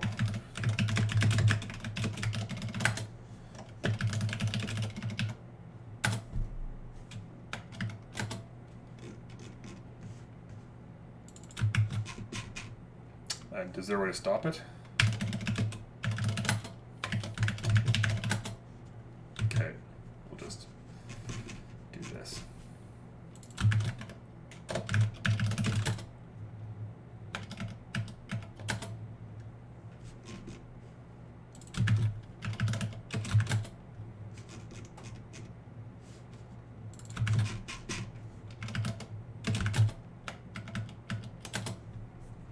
It uh, is restarting it.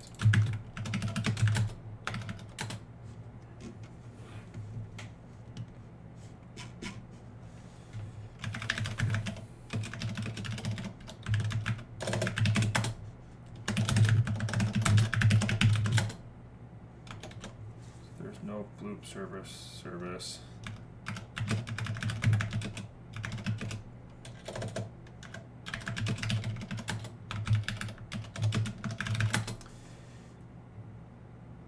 Yeah.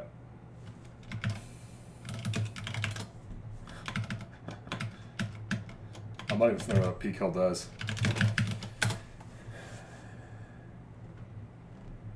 Process kill based on name or other attributes. Okay.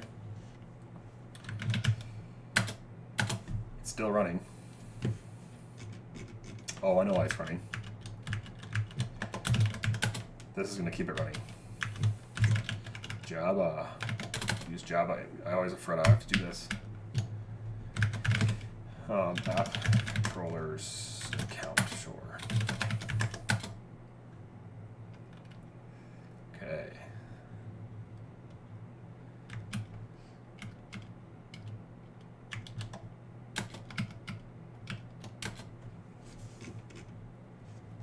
Now Bloop is running using the right version of Java. So yeah, so if your editor starts Java, you have to make sure your editor starts the right version, which was the issue that I was running into. So now I can run bloop space run Lila. In fact, let me do a clean first, just to make sure.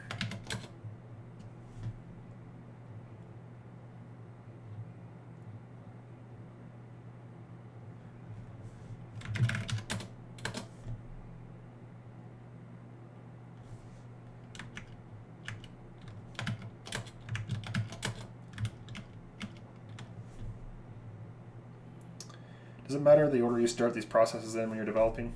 I'm assuming it does. I probably need to wait until. Or no, they use Redis to communicate, I think. So it might be fine. Okay, application started. Let's go back here. Not quite yet there. Not listening. Oh, that's the wrong one. That's fishnet. Here we go. This is the one I want.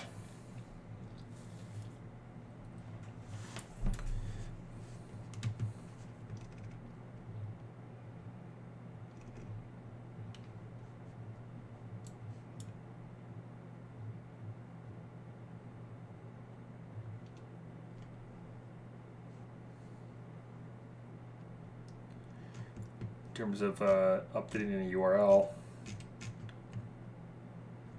Doesn't look like I'm hacking into the CIA. okay, one more time.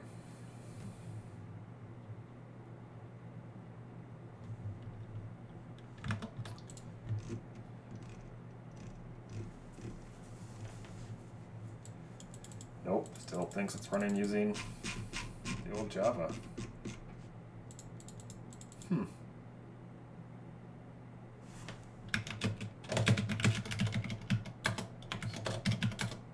We're gonna kill that. We're gonna run bloop install again. this is using a more appropriate version of Java by, by default, it looks like. Sleep above all. Uh, this is exactly what coding is, honestly. Coders spend probably half their time fighting with software configuration. That's why experienced software developers get paid more, is because they spend a little bit less time doing this and more time actually coding. Okay, we're starting from scratch again with Bloop. One more time to run it.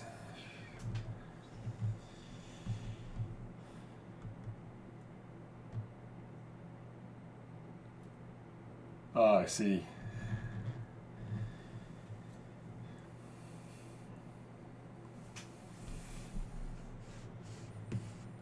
Wonder how many how many user how many viewers I've lost by fumbling through this for the last little while. Honestly, I think personally think that uh, streams that are about setting stuff up actually are better and more useful when this sort of stuff happens on stream because otherwise it's not realistic. So from that perspective, I don't actually mind the fumbling. This output already looks different, so I'm assuming this is actually working properly.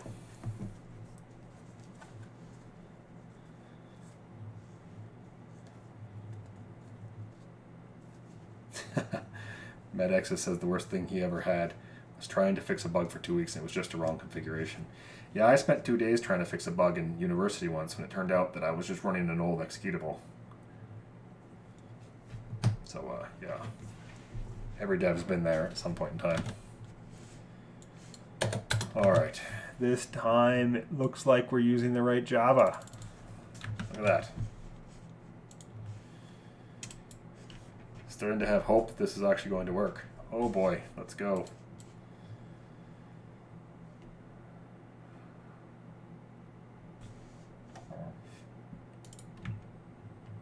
Let's go here. That has not worked yet. That's still there. That's still there. Oh. I'm going to lose on time here.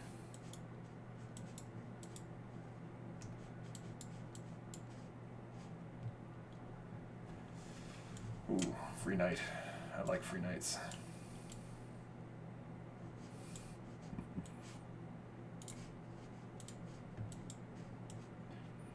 This is the closest you're going to get to me actually playing chess on the stream. I can take that right. So on actual um, on actual Lichess, Stockfish level one is a lot of fun because they move really fast, and so from that perspective, it. Uh, is actually quite difficult to beat. Pretty much pretty much impossible for me to beat. But uh, so far it seems pretty good here. Let's do that as well. Let's do that. I will take your queen. I'm going to finish this game, by the way. I'm not going to chicken out here. I will keep my rook.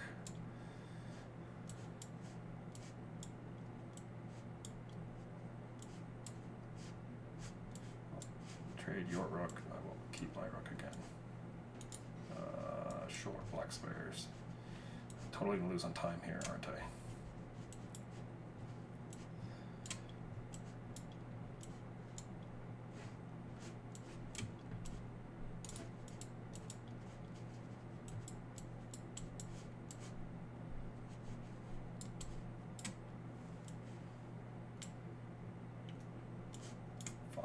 There we go. Okay, I didn't lose on time.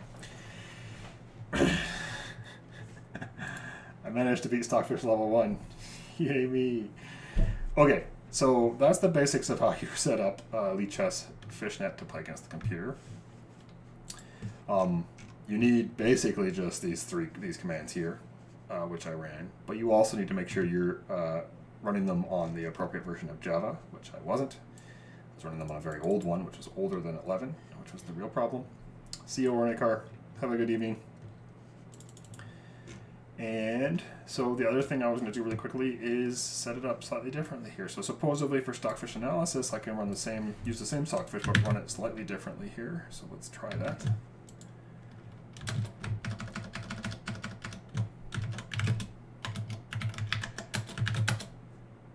And ostensibly, if I do this, I can then go back to this game and request an analysis. Oh, I didn't sign in. Go to localhost 1663. I believe I have a computer here. Oops. Um, should I quickly switch off of that?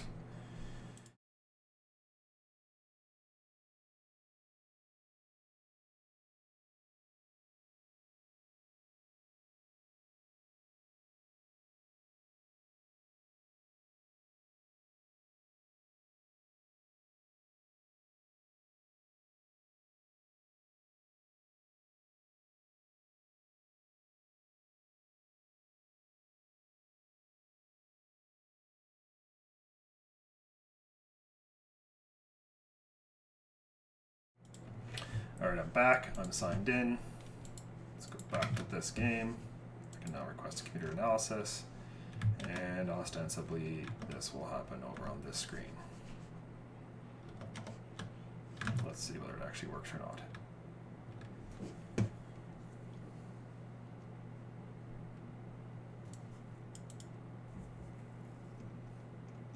Just looking at the other questions here.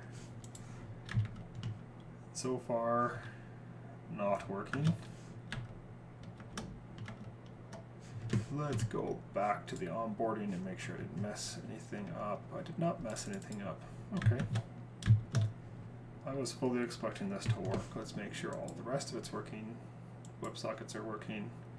The fishnet is working. This one is working. And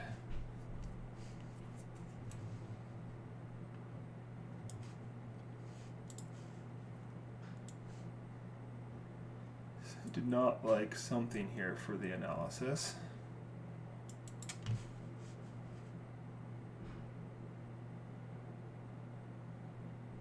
And yep.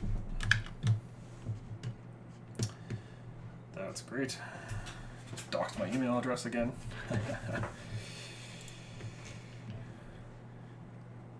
I don't know where that docs the email address came from.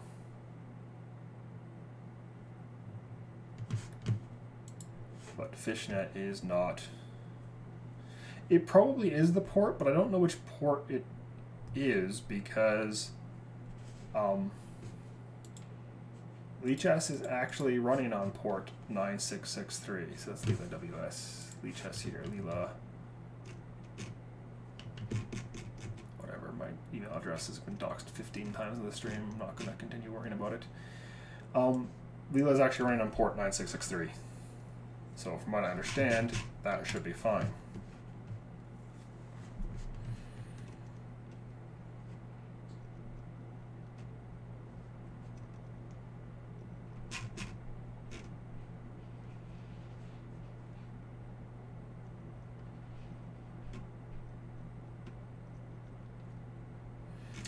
Um, so Sleep Above All asks a really important question, which I meant to address at the beginning and forgot, uh, and that's the schedule for the stream. I'm generally going to try and keep to a every two weeks on Tuesday on Sunday at approximately this time. So that's 10 a.m. local time, my time, which currently is 1700 UTC.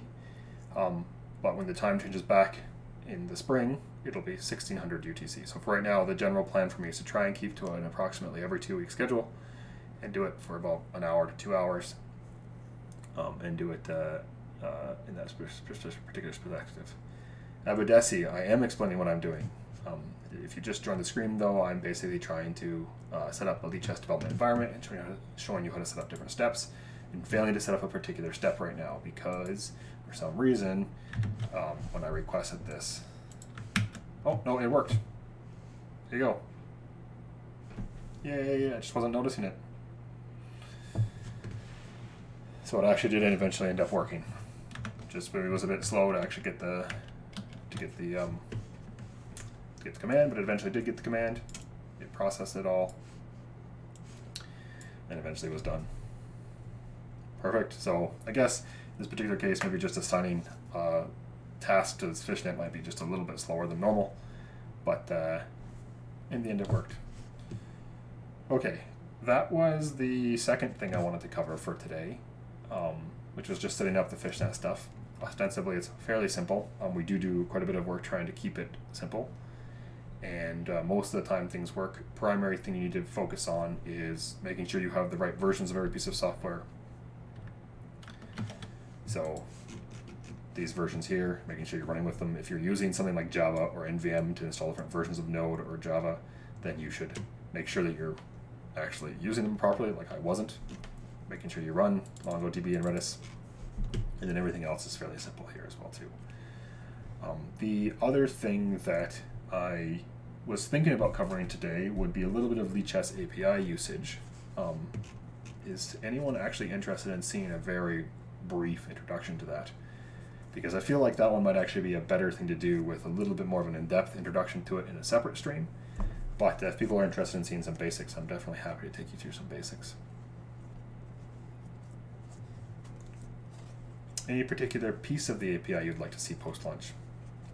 One other thing I'll take a quick moment here to discuss is I'd love to have your feedback on what I should cover in upcoming streams. And probably the best way to do that is to join us on the Discord and to make suggestions in how to set up Lila, which is where I've primarily discussed the, um, the topics for the stream or in the general programming channel. Either one of those would work. Join us there.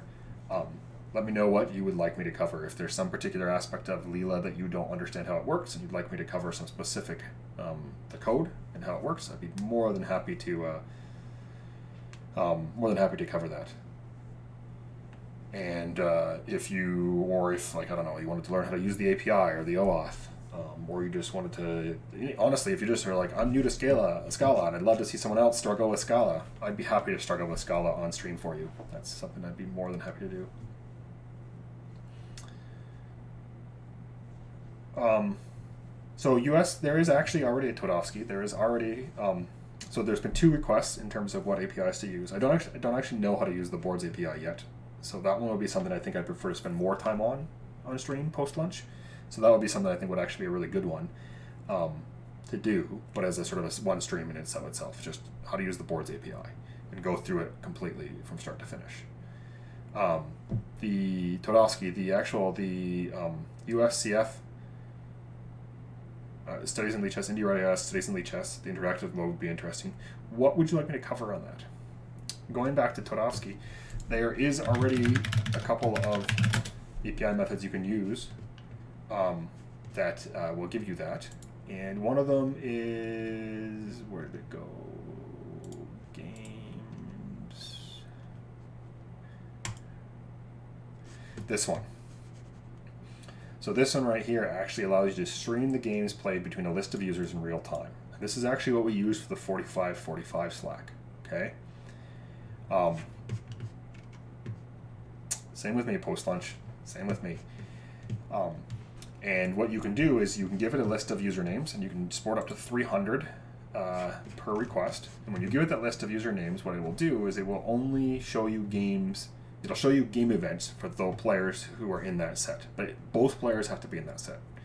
So in terms of you organizing a tournament, it's actually quite useful because if you know which players are in in your tournament, you can basically make this request, and it's a streaming request. So you actually make the request, you stay connected, and then Lichess will actually stream in um, uh, any game information for people who are going to any game game events, and those game events include the game started, and includes the game ended and the result of the game. And we actually use this in the Lichess 45-45 League to watch um, and to automatically gather game results. So, for example, if you go to Lichess 45-45, excuse me, and you go here, there's probably nothing on TV because none of these tournaments are actually actively working. But if you click on the TV board, um, during the season, we can actually show you who's currently playing because we've used that to track it. And then as well, all of the previous results. So all of the results in here. So all these results are automatically tracked by, by that same bot feature. Um, and it's actually fairly easy to use. Um, so let's, I can actually demo that fairly quickly on stream. Yeah, post-launch you should join us, but you do have to have a non-provisional rating. So play some more, and then apply. Uh, IJH, I am talking about the API a little bit, but uh, I'm not going in depth. I'm just to just quickly asking if people wanted to see me talk about it for a brief second. Um, the API is actually quite simple to use. Um, specifically, this method is actually quite easy to use. So, for example, uh, if I pull up a piece of code here, yeah, let's move these. Goes to scratch. Launch.py.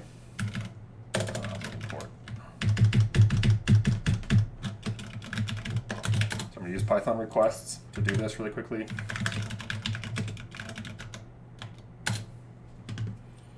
And Python request has this idea of streaming.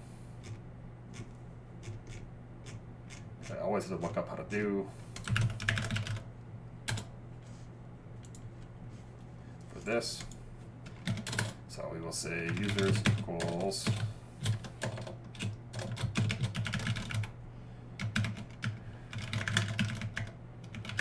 put some users in here for right now.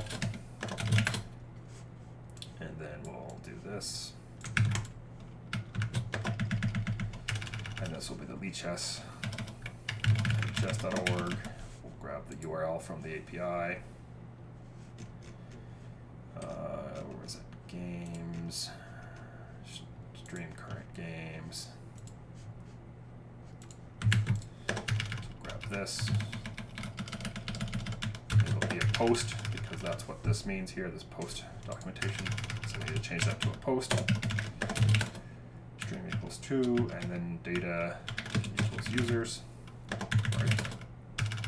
I think I just put data equals users in here. And then we go through and print this.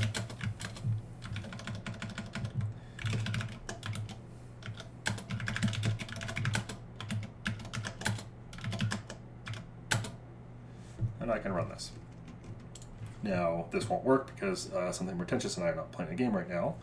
But if I go to lichess.org, TV, I can find some people who are playing games. So this game is close to being done. Let's see if I can type in their names fast enough. So Victor Soloviev and Love.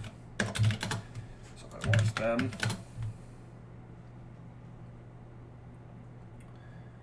Solovyov. No, I got his name wrong. So if I do this,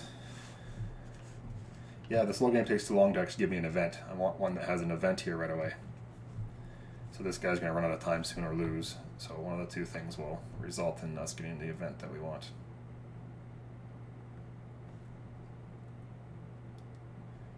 Oh, I forgot to import JSON. So they're playing again, but now they're playing this. Let's try these guys.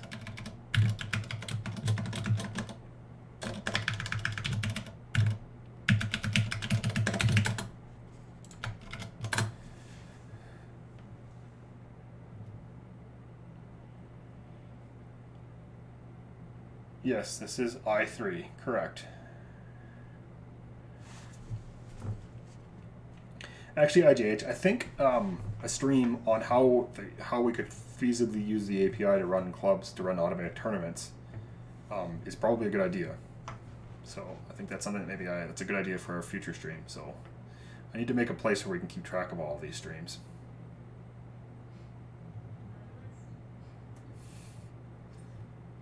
There we go. And did I get their names wrong?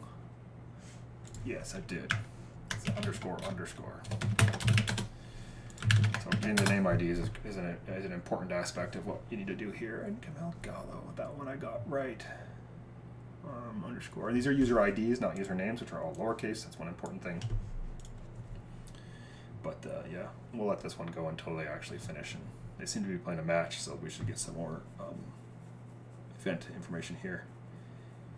They are uploaded to the UHS YouTube channel. Yeah, they are. Um, IJH. Not sure why you think they might not be.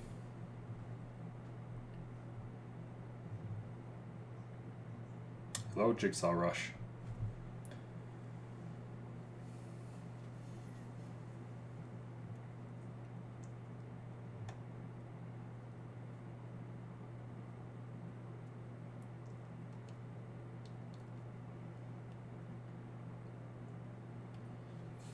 Just gonna sit here and watch this gameplay for a little bit until we actually get some events here. But as an example, Todovsky, you can definitely uh, use this particular thing to watch the results of games. There you go. So they finished. So we got a game, the game ID, got whether it was rated, the variant, speed, when it was created, which players were involved, and more importantly, the status, which is the result of the game. And then they started a new one immediately as well too, and so we also got this here, which is the start of the game. And so using both of those. So what I did, um, Wing Lives, how, how much of a newbie in programming are you? Because uh, that'll change my answer for that.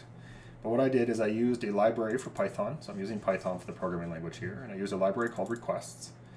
And that library is a well-known library in Python which allows you to do HTTP requests, which is how we actually do um, API requests for, for Lichess. So from that perspective, um, you need something that speaks HTTP. And for Python, I highly recommend this request library. It provides one of the most simple APIs for it.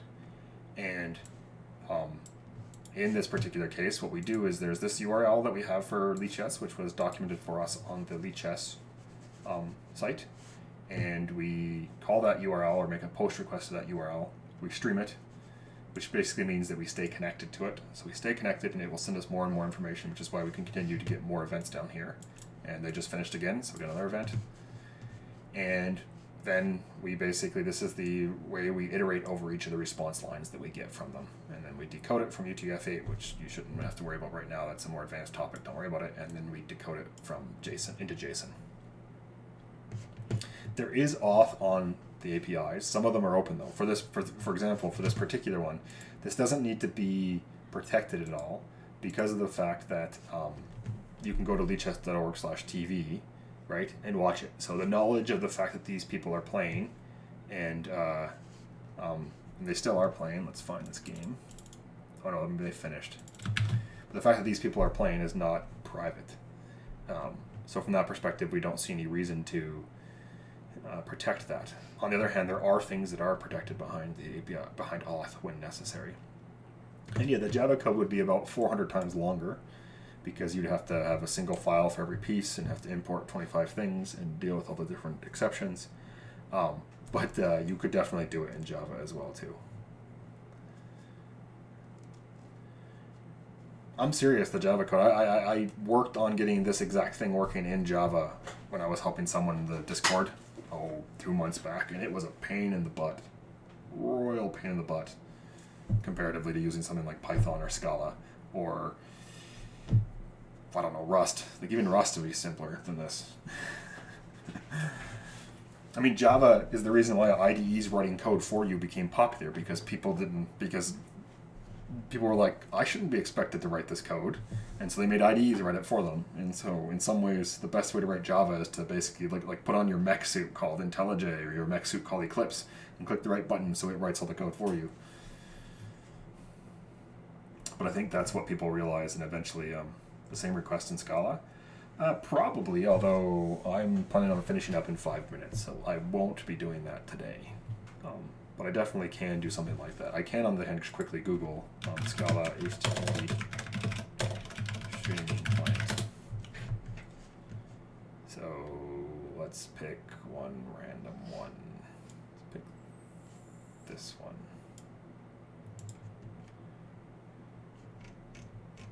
So there you go. So basically we can call, set up a few things. This is with Akka, which sometimes makes things feel a little bit more complicated as well too, but just something like this would work. And we would just need to appropriately set up the HTTP request to be a post request to make sure we actually included the, the stuff and yada yada yada.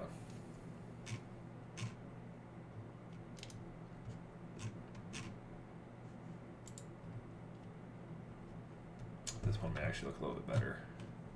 Yeah, this one's a little bit better. So basic request dot post the appropriate thing, and then work over, work on top of it there.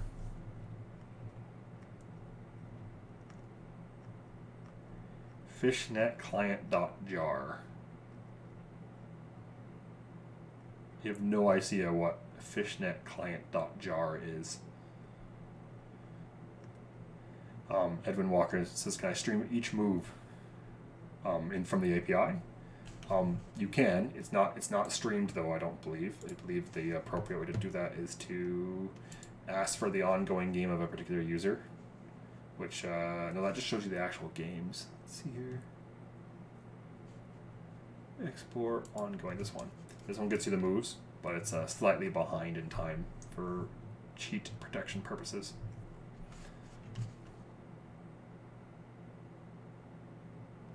I have no idea what fishnet client.jar is. Set Landon. Alright. It's been about two hours.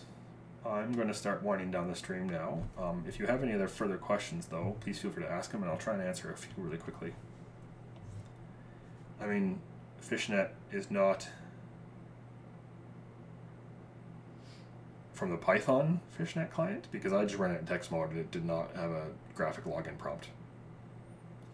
So I have no idea what you're talking about. The server is text only. The, the Fishnet client is text only as well too.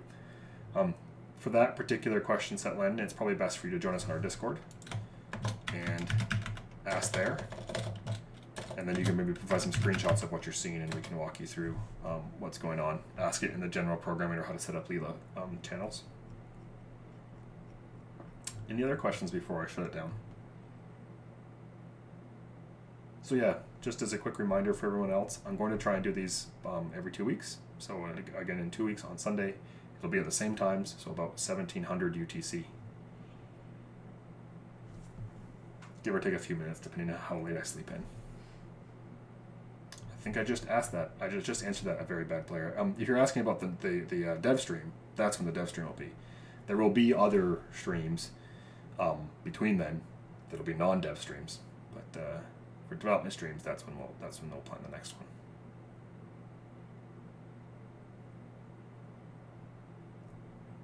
Glad you were able to show up as well, IJH. Edwin, glad you learned something as well too. Awesome. Thank you, very bad player. Very bad player.